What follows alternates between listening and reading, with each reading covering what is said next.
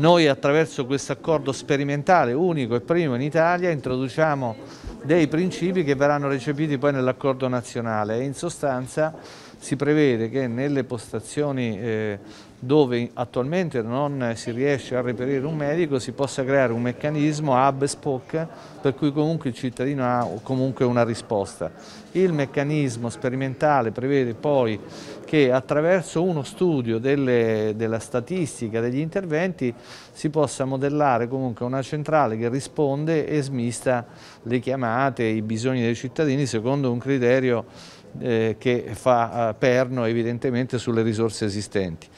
Eh, io sempre, non, per non essere equivocato, è chiaro che il servizio di continuità assistenziale è diverso da quello emergenziale del 118, ma voglio ricordare che comunque il servizio 118 in caso di eh, sintomi pericolosi è sempre il numero di riferimento. Voglio sottolineare che questo accordo anche sperimentale eh, migliora i trattamenti del personale eh, che viene impiegato soprattutto in orari notturni, attualmente la prestazione veniva remunerata con 23 euro l'ora,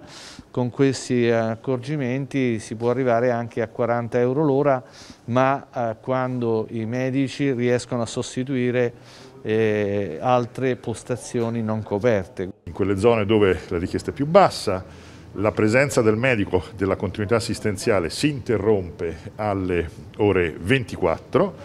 e, e, poi riprende con il medico di famiglia alle ore 8. In quelle zone dove invece l'assistenza è un pochino più consistente, ci sono più richieste, eh, ad esempio le strutture residenziali, eh, gli hospice, l'ospedale di comunità, lì rimane invece un'assistenza che va dalle 20 di sera fino alle eh, 8 del mattino. Quindi un primo passo che va nel senso anche di cominciare ad applicare, capire eh, quali saranno